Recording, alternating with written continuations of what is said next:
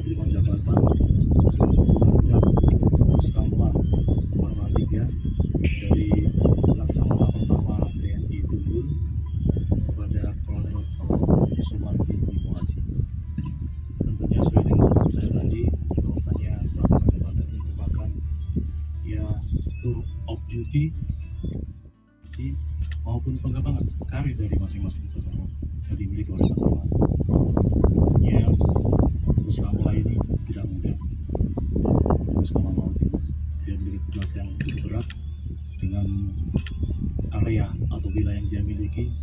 Dia harus bisa mengatur unsur-unsur atau KRI yang dia miliki untuk bisa mengcover dari wilayah dari wilayah eh, Formalda 3 ini markas komandonya atau kantornya itu sudah di dia. Di sana dia harus meng- meng-create semua yang menjadi perintah-perintah saya kepada unsur di bawahnya. Ya semoga dengan uh, adanya strategi batin ini tentunya kebijakan atau apa yang akan diraih oleh uh, Bapak Tunggul atau kemudian sebelumnya bisa dilanjutkan dan tentunya saya kepingin ditingkatkan dan diinovasi dengan sebaik.